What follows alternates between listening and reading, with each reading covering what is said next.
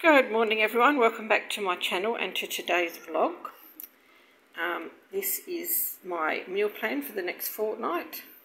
As you can see down here I've got the five weekdays. I only do weekdays, weekends we have leftovers or I tend to use up what's in the fridge. So that's what I've started doing and it's working really well. I've had certainly had less food wastage um, so it's been really good, it's working well. So um, the reason why there's two in every box, as I said, I plan fortnightly.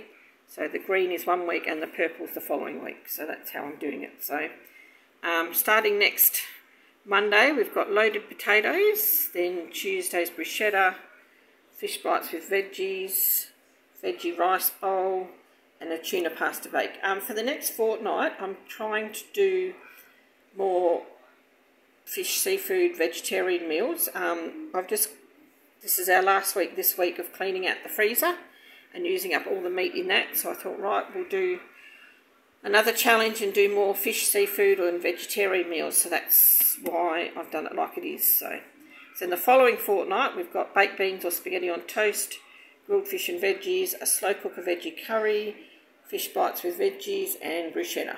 So just simple basic food It's quick and easy. And then on the right hand side I've got my shopping list.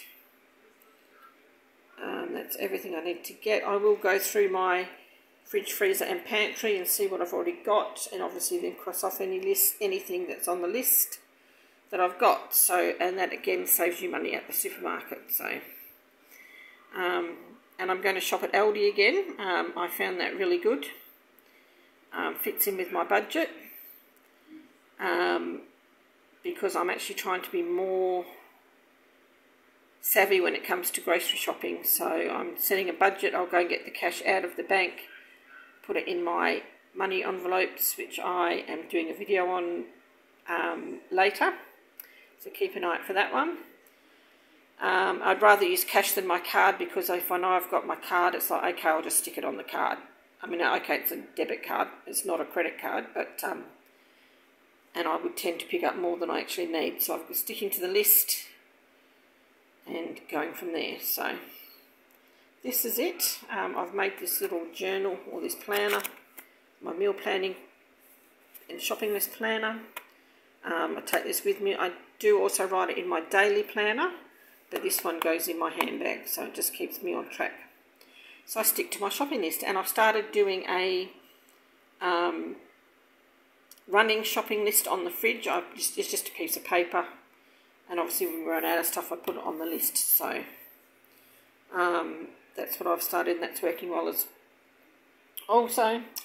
And I haven't quite decided what I'm going to do the $20 stockpile budget on this week. I have to go through all the catalogues and see what's on special that we use.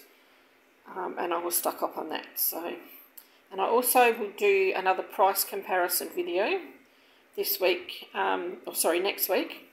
And that will be on, um, I'll get a shampoo, a conditioner, a body wash, um, and some um, bars of soap. Not liquid soap, the bars of soap. So that's what I'll do. And I'll go Woolies and IGA this week. And then the following fortnight, um, I will do a list up of probably cleaning products, and I'll go to all four. So I'll go um, Coles, Aldi, Woolworths, and IGA. So that's what I'll be doing. So there you go. That's my meal plan for the next fortnight, starting Monday. Um, please like, subscribe, comment, share.